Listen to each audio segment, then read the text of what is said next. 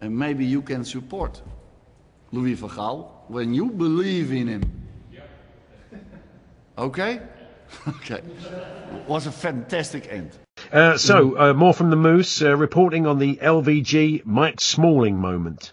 Last year, the third captain was Mr. Mike Smalling. Chris, could I? Oh, Chris, sorry. It helps you can get people's names right. Yeah, That's right. You should do, Moose. You're, you're quite right.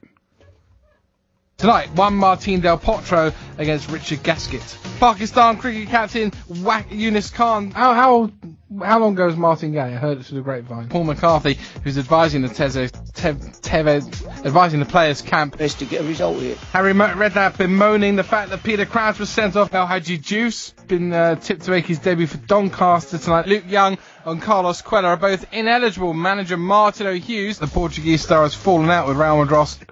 Real Madros he There signs some off really with. fantastic ones. There's just something about Martin Gay. It's only a, Martin it's Gay. only just out, but it sounds just so terribly wrong. So yeah, you're right. He should have got his name right, Moose. You were right to chastise him for there. that. Absolutely.